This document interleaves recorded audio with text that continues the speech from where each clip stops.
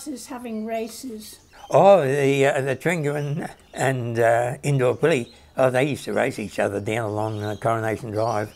So but one was based in Bourbon Street. Yep, that was Hilly. that was Holden in, in Bourbon Street, and Chris Brent had the Taringa ones, and they, they used to you know move along each each uh, to pick up all the passengers because that was the only two buses out that way. See, Taringa used to go up Stanley Terrace and all around the back of Taringa, and then it'd come back down, and then the Indooroopilly one. They used to drive the buses, the fishers. Ah, The ones that come out here Yeah. was uh, uh, was Indooroopilly bus service. But the council took over Brent, Chris Brent's about 48 or 49. That was Taringa bus service. And I'm sure uh, uh, the council, I reckon they might have took the Indooroopilly over just after that.